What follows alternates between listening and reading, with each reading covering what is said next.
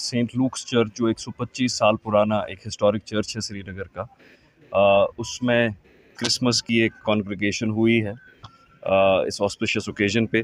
ये चर्च जो है Srinagar smart city corporation limited ने रेस्टोर किया है। टूरिज़्म डिपार्टमेंट का भी इसमें एक रोल रहा है। और कितनी खूबसूरती से श्रीनगर स्मार्ट सिटी ने अथर साहब की लीडरशिप में इफ्तार साहब भी यहाँ पे हैं।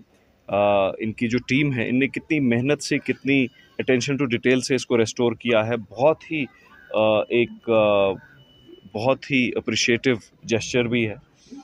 आज क्रिसमस के मौके पे इधर मुझे लगता है after a period of thirty years more than thirty years एक कॉन्ग्रीगेशन हुई है।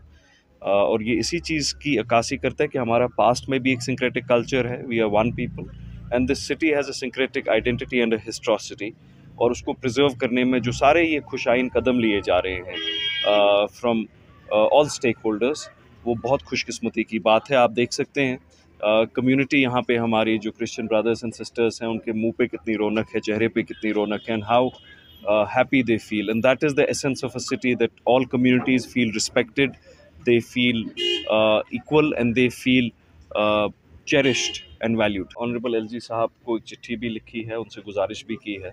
कि जामिया मस्जिद में जुमे की जो नमाज़ है, उसको रेस्टोर किया जाए। और मैंने ये भी कहा है कि ये प्रियमटिवली मस्जिद को बंद करना ठीक नहीं है। इसी में एक रिस्पॉन्सिबिलिटी मस्जिद की जो क़्यादत है, उसकी भी बनती है कि उसको पीसफुल एक एटमॉस्फेयर में कंडक्ट किया जाए। और और शांति का पैगाम और प्यार का पैगाम जो है, वो लेके आने वाला बन सके। हमारी प्रार्थना को सुनिए।